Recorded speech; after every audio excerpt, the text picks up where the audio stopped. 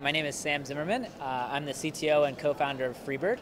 Uh, earlier today, Ethan gave uh, a, a, pitch for our launch competition, introducing Freebird where it stands now. Last year, this time, we were just closing our round. Uh, we raised $3.5 million from several well-known investors, including General Catalyst. And we were simply a rebooking tool. So we enabled travelers to instantly rebook their tickets at no additional cost when their flight was canceled or they missed their connection or th there was a severe delay.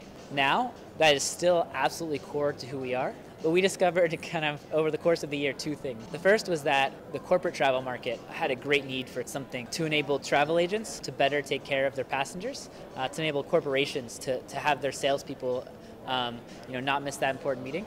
Um, and so over the past year, one major thing we've discovered uh, something we thought all along, but I think we really had validated was that um, um, that there was a real need in the corporate travel space uh, for a technology solution that would uh, that would help passengers in times of disruption.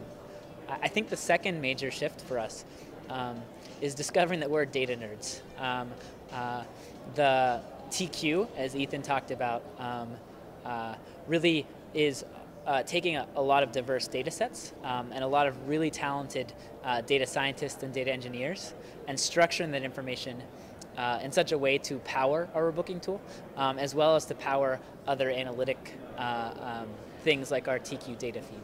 Um, so first tell me what TQ is for the, for the viewers. So TQ, uh, travel intelligence, short for TQ like IQ or EQ, uh, um, is the cutting edge data science and predictive analytics we're using on flight disruption data, on weather data, and flight pricing data um, uh, to produce simple tools like uh, to price our booking solution, um, as well as to inform uh, uh, uh as well as to inform uh, companies about, about the risks, the aggregate and micro risks that their travelers are taking every day. So tell me what the business product did. You described a need that you discovered, but is that delivered in a product or how is it delivered? Uh, it is. Um, so, for example, our rebooking tool. If a company comes to us and would like Freebird, the risk of a flight being disrupted varies across a number of different factors the time of year, the carrier, the time of day, as well as what the weather's likely to be. And so, in order to accurately price Freebird for that company, we need to understand kind of all of those factors and ultimately price it in such a way that it makes sense for the company and it makes sense for Freebird. So it's like an intelligence product that defines what level of insurance they go to? Yep. And do you pitch that as a white label or does that come with the product? How does it work? That comes with the product. So we announced a deal with Flight Centre and Casto, both of which support uh, co-branded flows. So our booking tool works via a text. So you get a text, you click that link, go to our Freebird rebooking flow. That flow will have both Flight Centres and our logos, enabling the traveler to associate Freebird with the tool and understand that Flight Centre is providing it. So a year ago at Phocuswright, I met Ethan, he wasn't presenting. I downloaded an app, but I think I heard him today say on stage there is no app anymore. Yep.